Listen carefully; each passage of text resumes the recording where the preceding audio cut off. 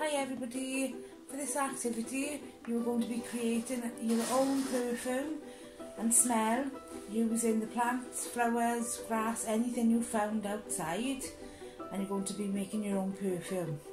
So what I've got, I've got a plastic pot and a stick. You can use anything as long as it holds water and have something to mix it up with. So I've got a few things here. I can see a buttercup. I'm going to start now. Put in a few bits into my cup, some grass, some buttercups, some leaves, some lovely little flowers here. You can pick these up in your garden, you have plants and shrubs and grass, you've got things growing in your garden maybe you should ask um, mum, dad or whoever's plants and things they are first. Or maybe they could help you. And then I'm just going to put a few bits now in here. And then I'm going to mix with some water.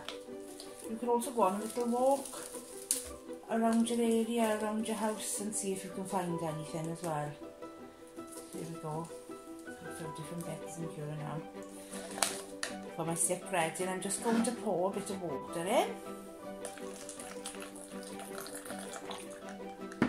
And give it a good mix. I can smell it all already. And it reminds me of sitting out in my garden. Or sitting up the, on the mountain when I've gone for a walk with my dogs.